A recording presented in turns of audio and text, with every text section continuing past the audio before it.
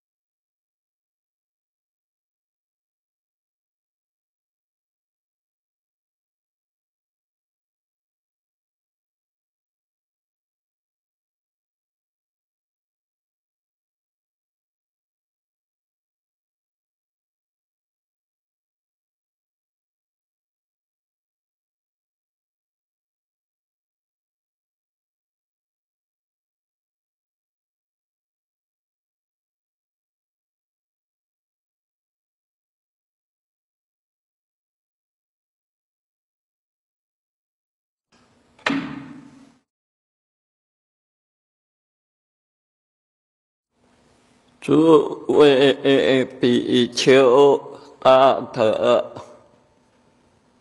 诸持菩萨、诸位尼师大姐、诸位在家菩萨们，大家晚安。阿弥陀佛，请方丈。我们今天佛七第二天，今天准备跟诸位讲解印光大师两篇的法语，这两篇的法语。非常要紧。那么啊，我们就说了，不妨自己念一曲，请诸位跟着念一曲。无人心信。与佛同坐，只因迷别，轮回不休，如来慈悯，随其受法。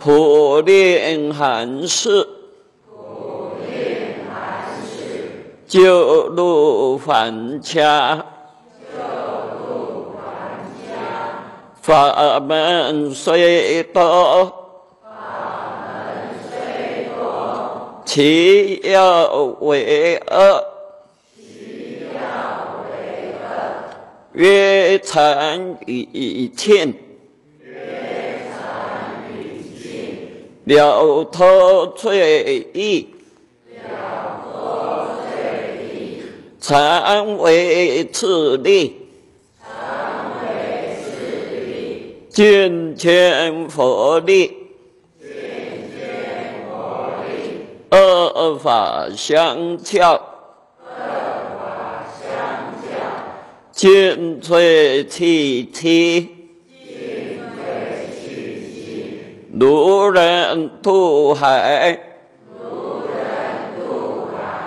西藏舟船，速得到岸，身心坦然，莫视众生。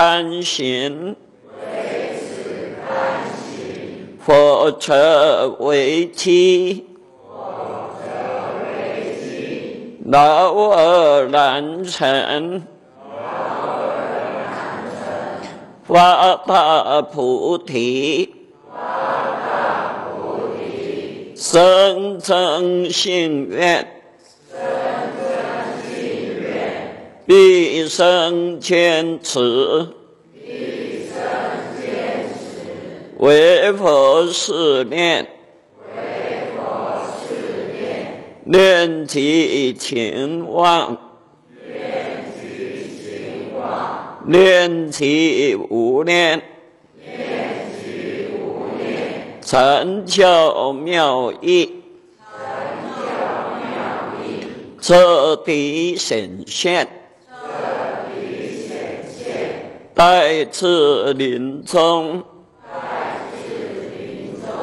门婆切引，直登上品。正无生人，有一秘诀，开切相告，结成尽尽，妙妙妙妙，好，到这。我们就来解释：无人心现与佛同处，只因迷别，轮回不休。我们每一位众生的心性。跟诸佛都是同类的，错有错批的意思，有同同伦同类同样的，是没有差别的。那佛是佛。我们是众生，到底差在哪边呢？只因迷别，轮回不休，只是因为我们众生迷惑了真如本性，归为真如本性，所以起惑。造业受苦，因此就轮转在三界六道的生死苦海当中，一直轮回，不能够休息。如来慈悯随体说法，普令寒士。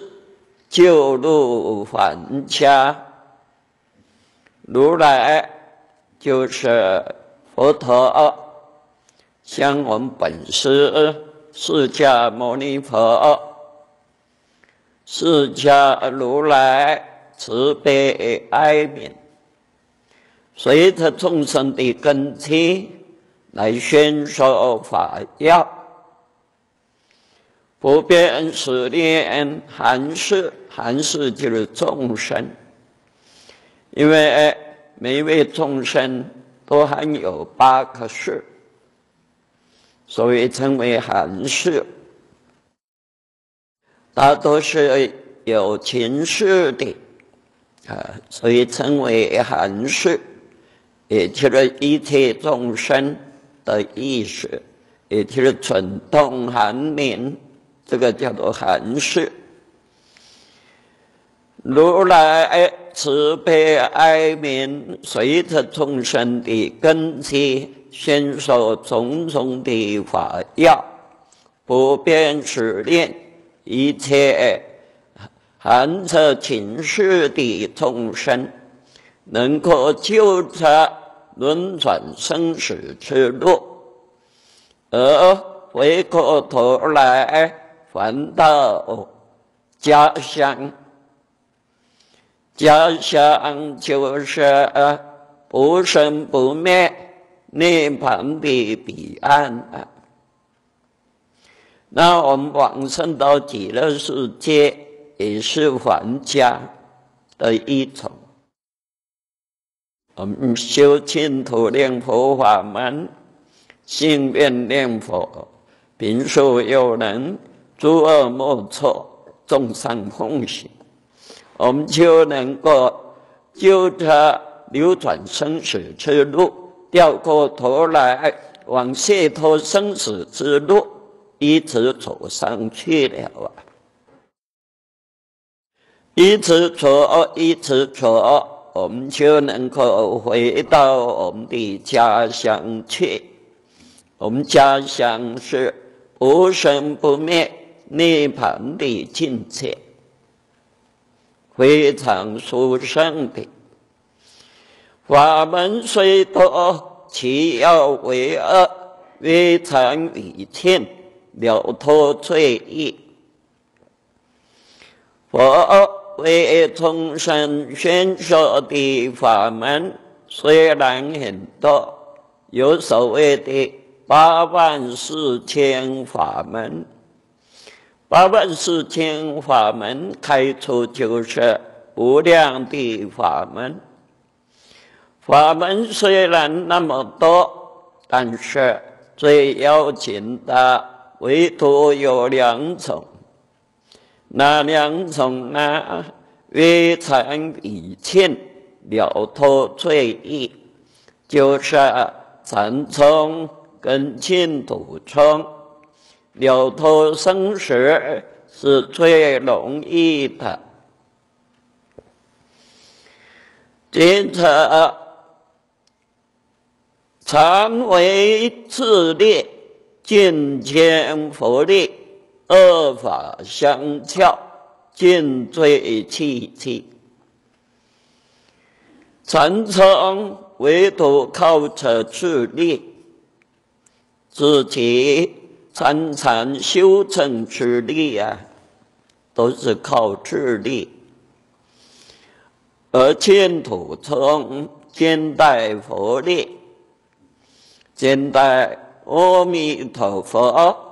大慈悲愿力的接引，讲到兼兼带佛力，换句话说，就是恶力去除，自他恶力都去别的，而禅宗唯独靠自力，没有像净土宗靠着阿弥陀佛。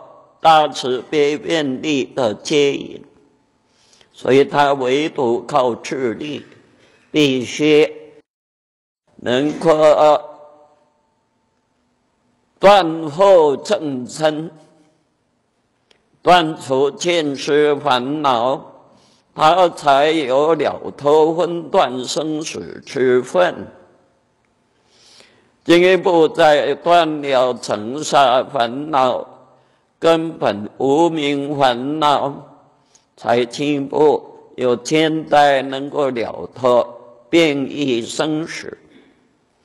那通常成一尊佛，依照通途来说，要经过三大阿僧祇劫，禅宗亦复如是，唯独靠智力啊，要成佛也是。这么久的啊，那么净土宗兼带佛力，换句话说，就是自他恶力都去除的啊。那么虽然后业还没有断除，但是靠着阿弥陀佛大慈悲愿力的接引，我们就能够往生到极乐世界去。其他法门必须靠着智力来断烦恼，才能够了脱生死啊，乃至最后成就无上佛道。而净土宗是兼带佛阿弥陀佛。大慈悲愿力的接引。我们后业虽然未断尽，但是能够我们到临命终的时候，能正念分明。或业虽然未断，也能够带业往生。往生到极乐世界去，环境太殊胜了啊！跟初生三人聚会一处，有情无情都为我们说法，环境非常殊胜，所以呢，我们修的后业逐渐就断了啊，那生死也逐渐了脱了，乃至一直修修到成佛。所以呢，这两种法门比较起来，互相比较起来，净土宗是最契合呃末世众生的根基，所以尽最契切。如人渡海，须藏舟船，速得到岸，身心坦然。就好像一个人要渡过大海，必须靠着这些呃呃舟船啊，这些的船只啦，有的小的，有的大的慈航啊，那我们就上这个大慈航比较稳啊，小船风一吹，恐怕也不安稳。啊，所以大船就不怕风浪，啊。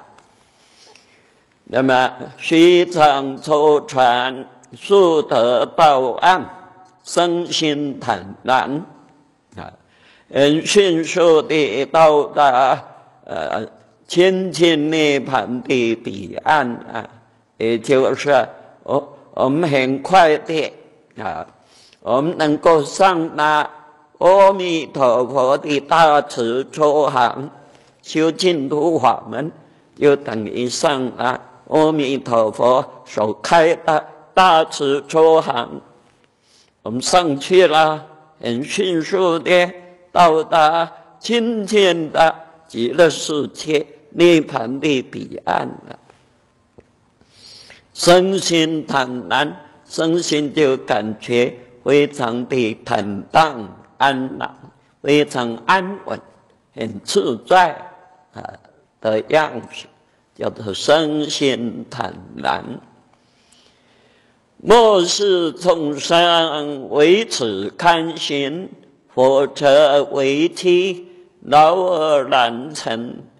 末法时代的众生，唯独这个法门才坎坷，我们。依照着他好好的修行，我们就能够成就的；火车的话，就归为呃众末世众生的根基，虽然很劳苦，而很难以成就的。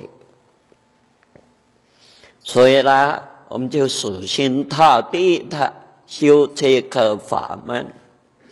那修这个法门怎么修呢？所以下头就说到了：发大菩提，生真信愿，毕生坚持为佛事念。我们要发起广大的菩提心。什么是菩提心？通常讲到菩提心，就是上求。诸佛觉道，下化无量众生的心，就是菩提心。那就着我们修净土念佛法门来说，啊，这个菩提心怎么讲呢？又不但我们一个人往生极乐世界，我们也要啊称性、称和正入本性。发起广大菩提心，普遍思念我们有缘的众生，跟我们一样，都能往生到极乐世界去。所以不但是求治疗而已，啊，我们要发起大菩提心，也要呃救度众生，跟我们班一样，能往生到极乐世界去，往生到极乐世界去，一直修修到真的无生法忍，我们就有能力分生成刹，普度众生，又往生到极乐世界去。然后辗转地化度，啊，这个就是我们净土宗所说的发菩提心的内涵，是如此。发了广大菩提心，接着还要怎么样呢？生真信愿，升起真实的信心，发起恳切的愿。所以幸运哦，非常要紧哦，要生真幸愿了。在这，我们说，呃，一首偈颂来说明这个生真幸愿的道理。说什么偈颂呢？啊，就是明朝的。出世大师的念佛器，念佛的诗器，啊，他所做的属于是，那不妨我就把它念出来，啊，再加以解释。说出无常世事迁，啊，跟着。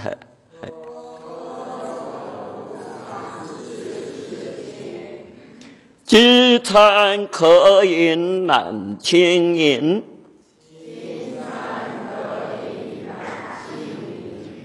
一心不退是安养，万善同修亦永眠。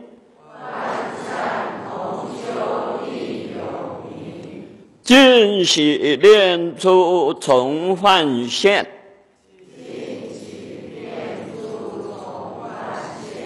坚持佛号莫停声，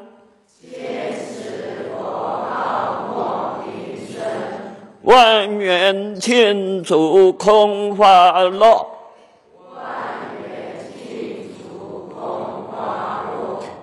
闲向风前月下行，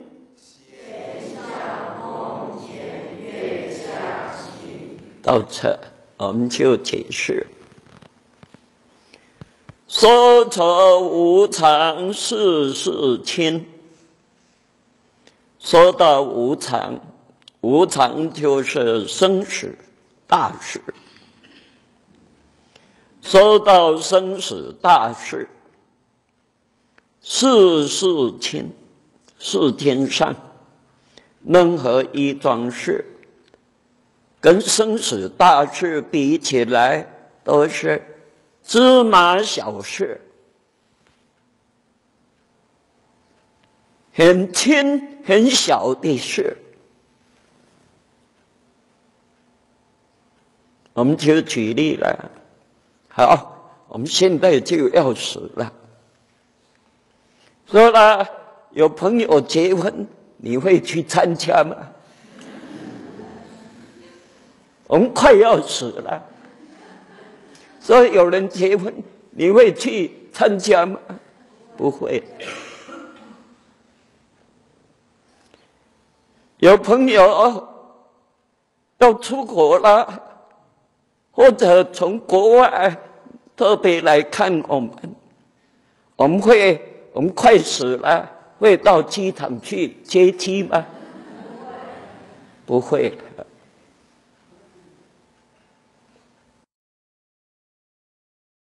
世间种种的事，比起我们生死的大事，都是芝麻小事。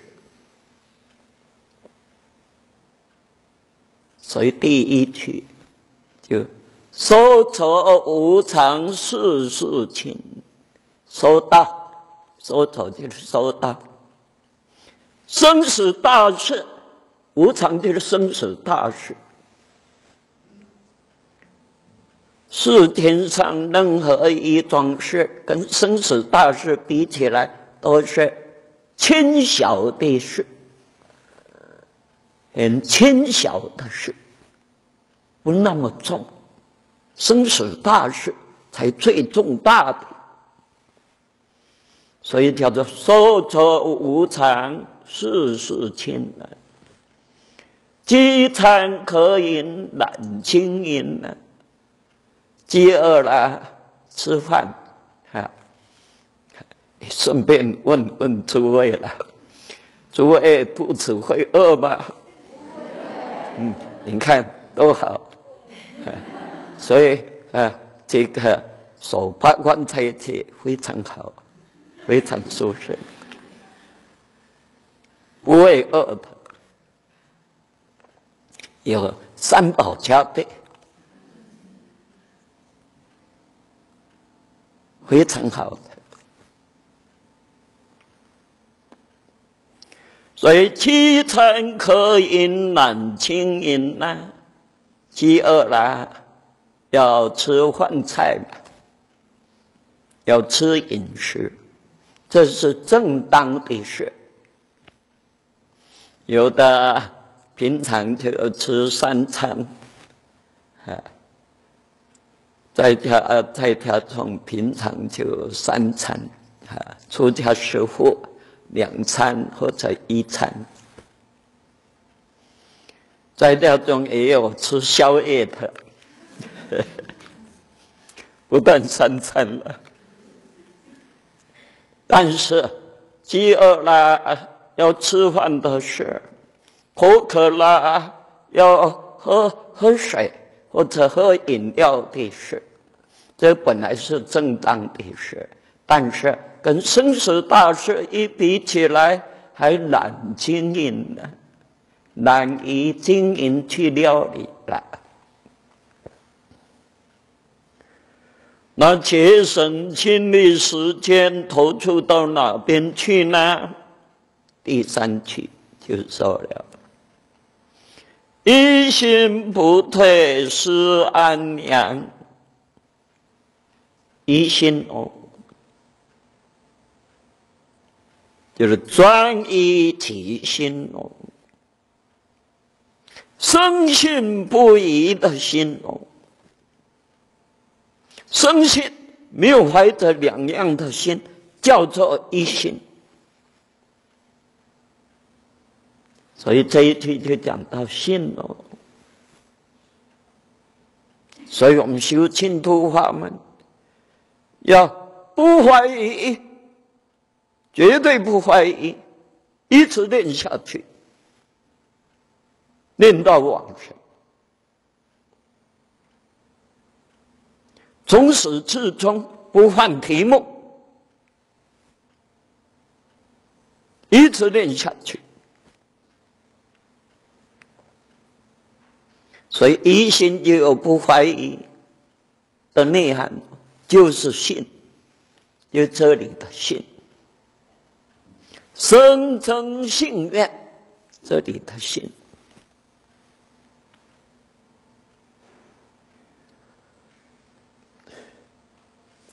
一心不退是安良，一心就有不怀疑，有生信的内涵。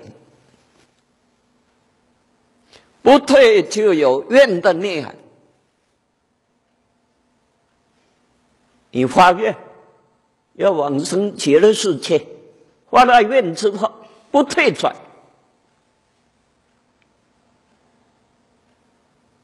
这才是恳切的愿。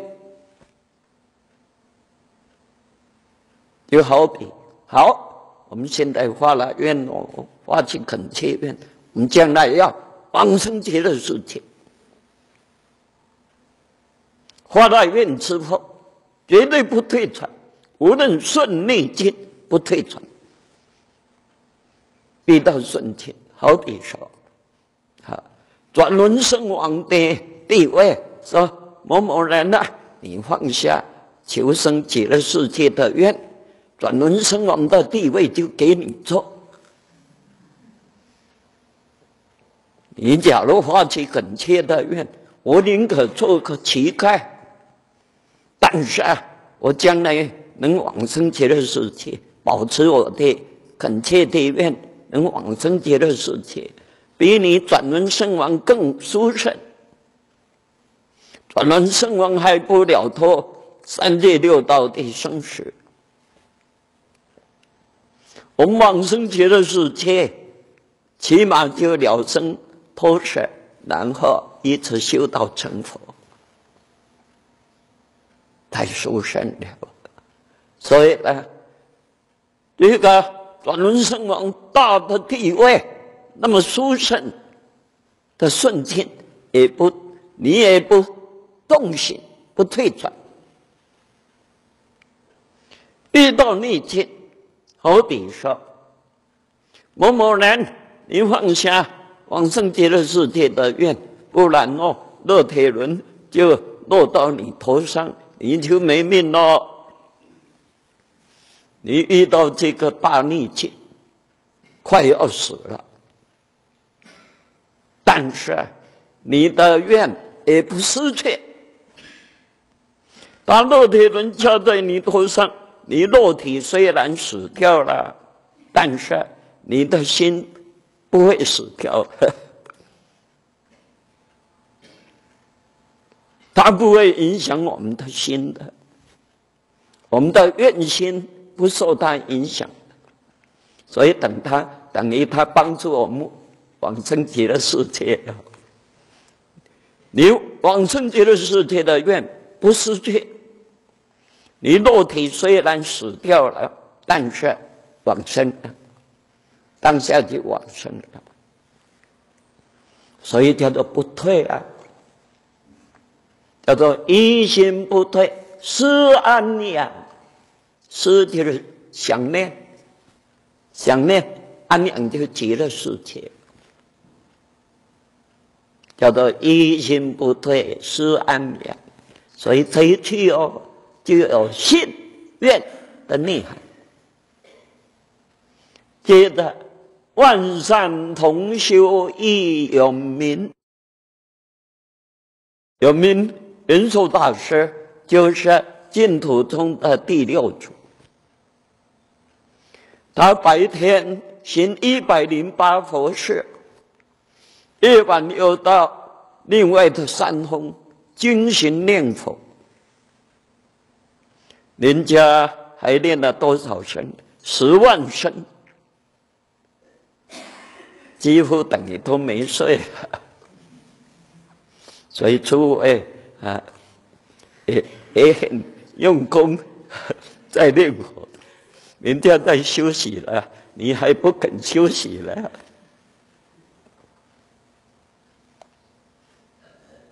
所以万善同修亦有名呐。这一句就是助行。信愿行的行，行有正行跟助行，万善同修亦有名。这一题就是属于助行。接着，尽喜念出重幻现，坚持佛号莫停声。这两句就是正行。我们修净土念佛法门的正行是什么？只持名号，一心不乱，就是正功夫。人家哦，啊，练出都拿着练出技术了哦，啊，那么练出练久了，脏了，脏了就洗一洗，再洗一洗，啊，不，练久了。性也容易断，就重唤醒，重新唤醒。所以由这一句就是表示他平常很用功在练佛，所以是正功夫。接着下一句，坚持佛号莫停声，更可以看出来，啊，他坚持佛号，不不停下声音来。讲到念佛，有静的声音，有动的声音。我们出生的时候就叫做动的声音，动的声响；我们默念的时候叫做静的声响。但是，无论你出生，或者是不出生，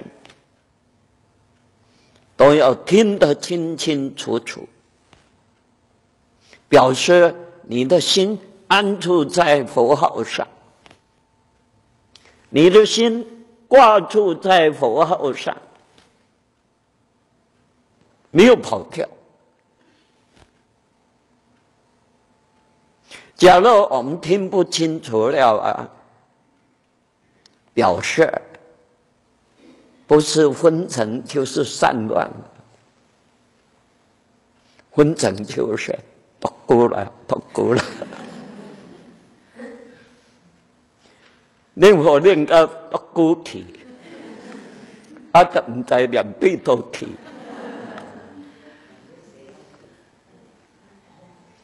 有时候，心里打妄想，啊，跑跑照，心也不在焉了。所以念佛就是要念之在之，唔通个造体，造体要看见。哎，了都动了，又安住在佛号上。他越跑，你越抓，哎，抓久了他就乖乖了，就不跑了。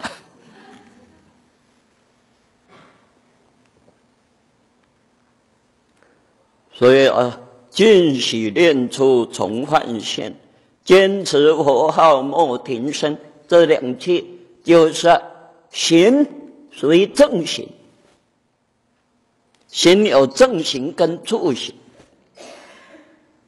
前面那一句就是助行，万善同修亦有名，所以行我们修净土念佛法门就是信愿行三资粮吗？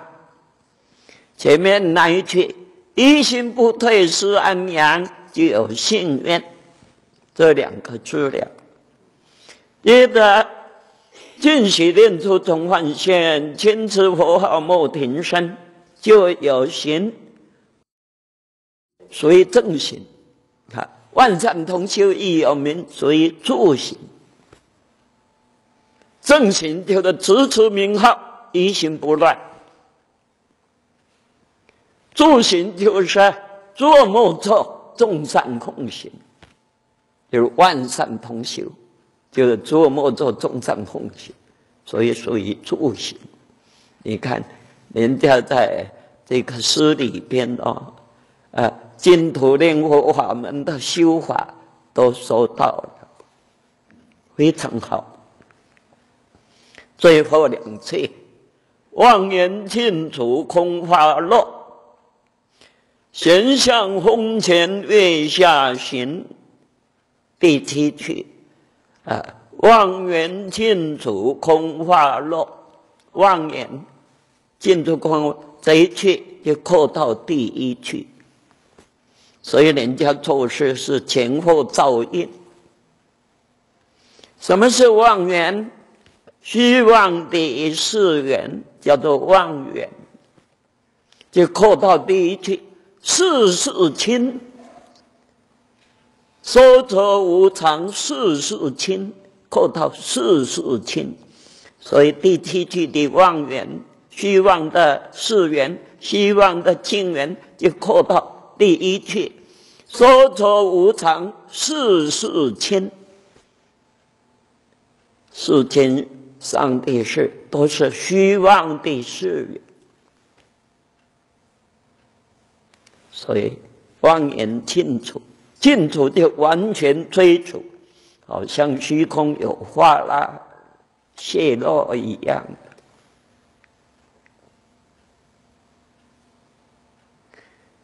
有智慧的人哦，像佛菩萨，哦看整个三界就如同空话。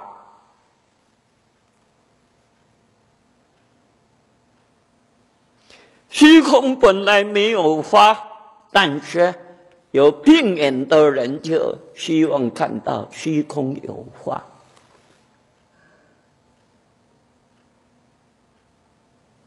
我们众生有种种烦恼，他就起惑，起惑就造业，造业就受苦。其实是我们是本来是佛，众生皆有佛性嘛，本来是佛，现在却迷失了啊。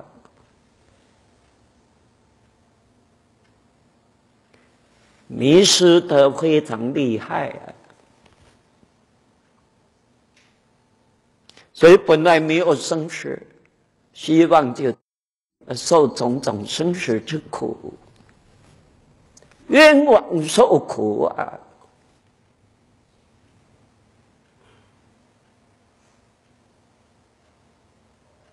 本来都是虚幻的，我们执着实有。好比执着我们五蕴的身心为我，执着身心之外的山河大地、草木鸟兽、种种环境，都当作实实法，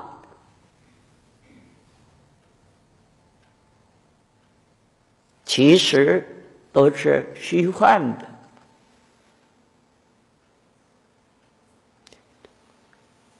我们众生就是因为有病眼呐，才希望看到虚空有化，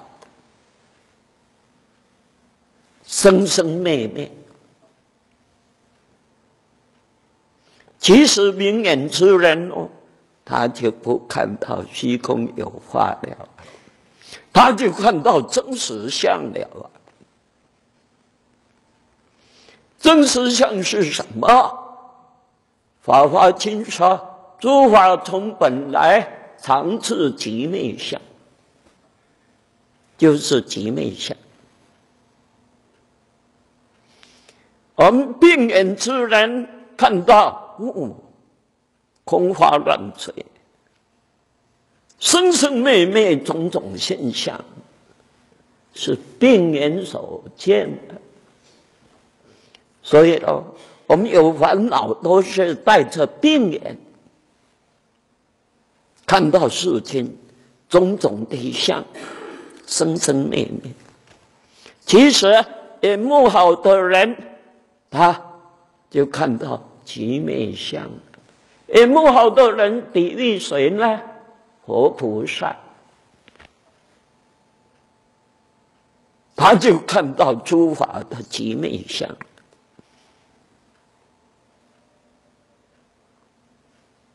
所以这里了，妄言尽除空法落，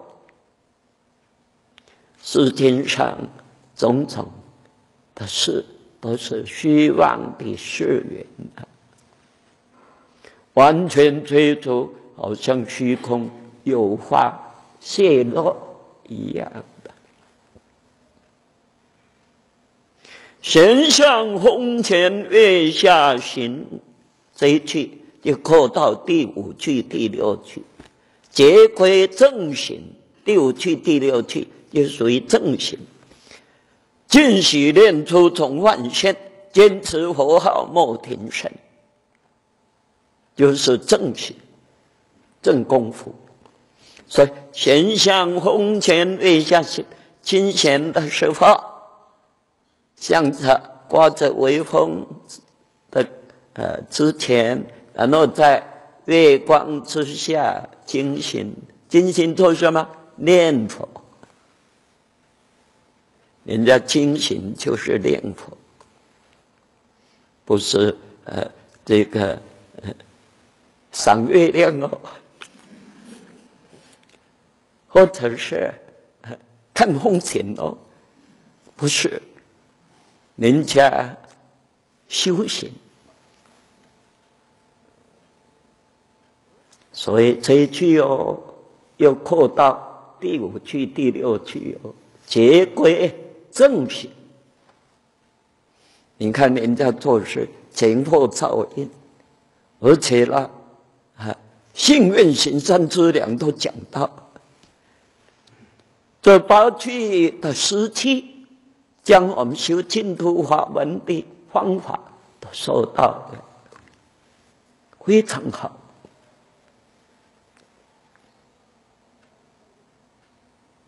所以我们要发大菩提，生增信愿，发起广大菩提心，不但我们自己求生极乐世界，而普遍施念，发起众生跟我们一样，都能往生到极乐世界去。这个叫发大菩提，要升起真实的信心，发起。恳切地愿，生真信愿的，毕生坚持为佛是念。接着就讲到念佛了，有信有愿，接着行，行就是毕生坚持为佛事念，毕生尽此推报神，尽此推神，坚持。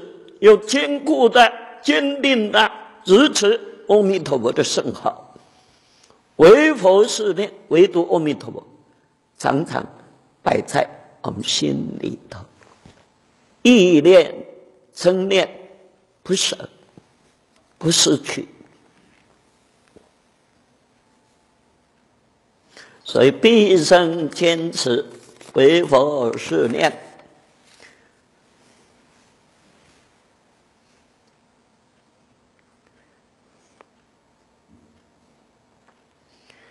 念其情望，念其无念，禅教妙义彻底显现。令佛的功夫做到极点，凡夫的情见都忘怀了，忘明了。就是念及情望。换句话说，我们逐渐转换成圣了。念及无念，功夫做到极点，念而无念，无念而念，念其无念，就是念而无念，无念而念。怎么念而无念？无念而念呢？根据印祖解释，念而无念，我们虽然常常在称念或者意念，但是一点起心动念的念想都没有，叫做念而无念。无念而念。虽然没有起心动念而念，但是这句佛号却常常的称念或者意念，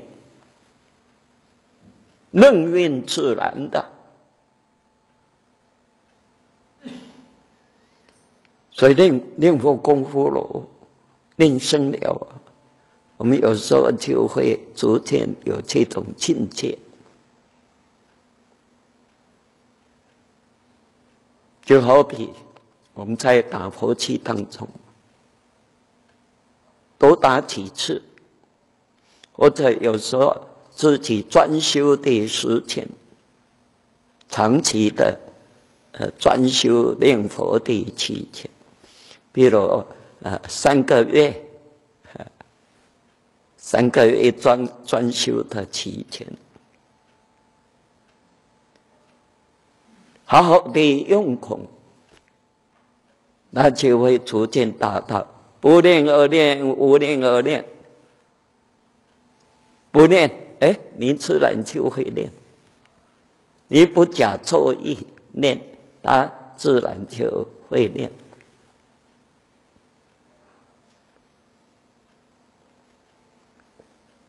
所以练其无念哦，不是念等于没有念，不是这个意思哦。是你功夫用到七天，虽然常常称念或意念，但是一点起心动念的念想都没有。虽然没有起心动念的念想，但是这一句佛号却常常的称念啊，或者意念，这个才叫不念而念，无念而念。无念而念，念而无念，这个念佛功夫到这样子，禅教妙义彻底显现，禅宗教下微妙的义理有诸法实相，那就彻底显现了啊！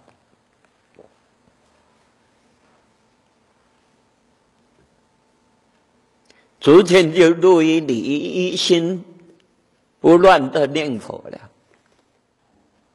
离一心，离一心的境界，他就分破无明分正法身了，所以禅教妙义就彻底显现，有诸法实相，他就彻底显现。待次临终蒙佛接引，直登上品。正无生人，等待到达你命中的时候，蒙佛接引，蒙受阿弥陀佛的接引，直接登到上品，那就能证得无生法忍。什么叫做无生法忍？对诸法不生不灭的真理，能可离心，一点也不动摇；对一切诸法没有见到一点生灭相，都是不生不灭的实相，诸法实相。这个就是无生人。有一秘诀，开切相告，结成庆庆，妙妙妙妙。所以有一个秘密的诀窍，开切相告，开始恳切，互相的告诉我们，因此告诉我们，念佛要怎么样呢？要结成亲亲，换句话说，要结清我们自诚恭敬之心，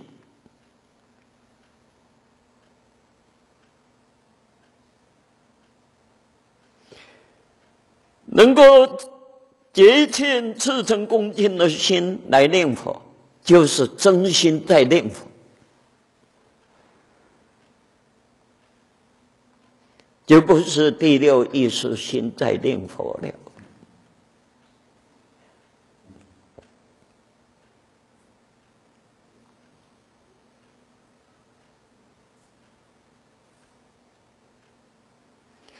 真心念佛啊，一念相应一念佛，念念相应念念佛。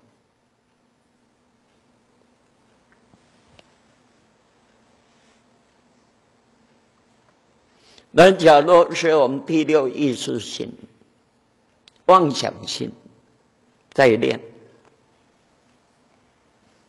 那就不是喽，就不能称一念相应一念佛了啊！念念相应念念佛，我们要真心念，至诚恳切，非常恭敬、虔诚。的心念佛，诚实信的，我们本性的功德，它就会显现出来。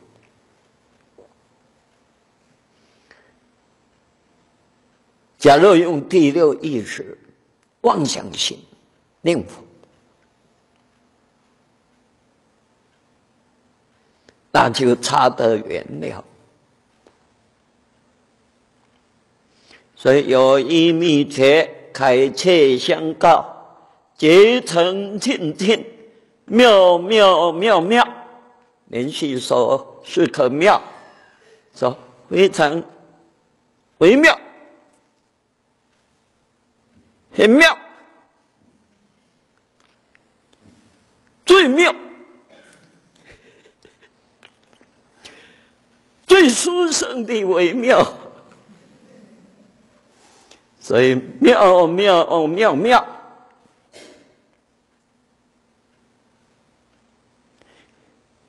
那今天就呃差不多说一篇啊，好。那明天继续再说一篇，啊，好，我们这个呃呃放下观缘，一句佛号，一直念下去。